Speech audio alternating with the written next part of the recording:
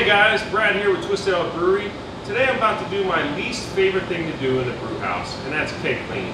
Not that it's hard or difficult, but it's definitely time consuming and monotonous, and you're stuck at the station and just doing nothing but cleaning kegs. It's kind of boring.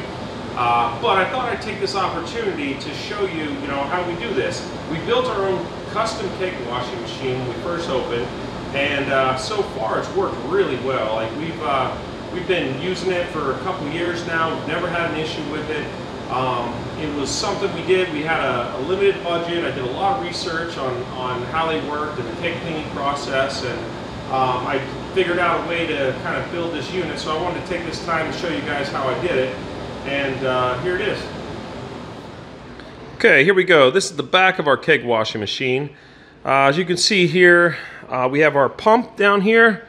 What I did is I found this stainless steel, it's actually a lawn sprinkler pump, but it's got a stainless steel head in it and it's very powerful and it worked great for this application. I was able to uh, find adapters and I decided I wanted to go with tri-clamp fittings.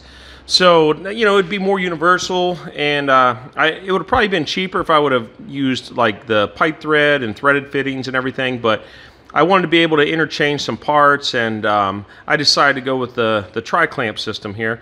So um, you can see it goes from the pump right into a check valve. Then it comes up into a T here. So the T branches off over here uh, this is our uh, injection pump for our acid pump, and it also has our air and CO2 lines hooked to it. All these have check valves built in. And then there's another check valve on the end here. And then it goes into another T, and this is our hot and our cold water inlet. Then on the far back side over here, there's another T. And this one is uh, where we're going to branch off to our actual keg couplers and I'll show you that um, on top here in a second. Um, down here, this is basically uh, what I use for my acid container. It's just a nice plastic container here. Uh, we pre-measure out some peracetic acid, and uh, our dosing pump will, you know, dose this uh, according to how much we need. And for my caustic tank here, or you could use whatever you want, PBW, uh, some people use different stuff. Uh, but this is basically my old homebrew kettle. It's a 15 gallon kettle. We use about 10 gallons of product when we, uh, when we run this machine, so it works perfect. Now as we come around here, this is uh, some more ball valves that I installed. Uh, you can see there's some other T-fittings going on here. Basically, uh, when I open uh, this valve, it'll actually direct and send the waste down the drain and then you can close this valve and we open this valve it'll recirculate the caustic so that's the the waste control valves. And like I said this is all manual. It's all moving valves and levers.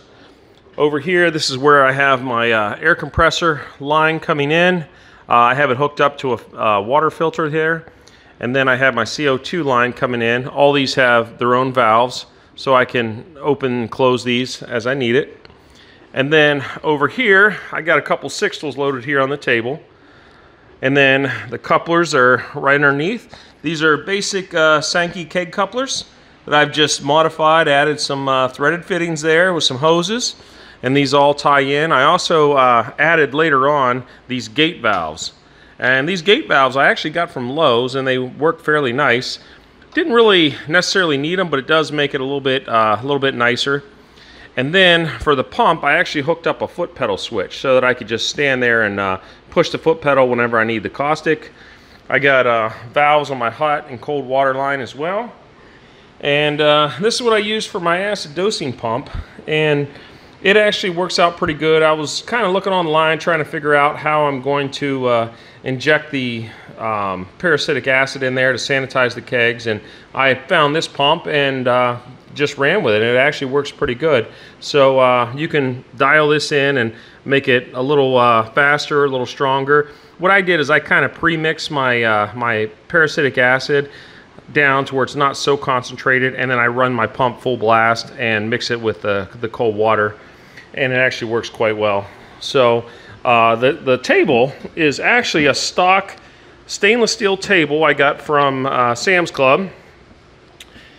And then there's a couple supports I had to add in, in the middle there, and I cut these notches out on the table. I actually used a Rodman, nibble, a Rodman nibbler and also a uh, cutoff wheel and uh, grind it down nice and smooth and everything so that these will fit. I got sixtels loaded here, but it easily does half barrels too. So. Uh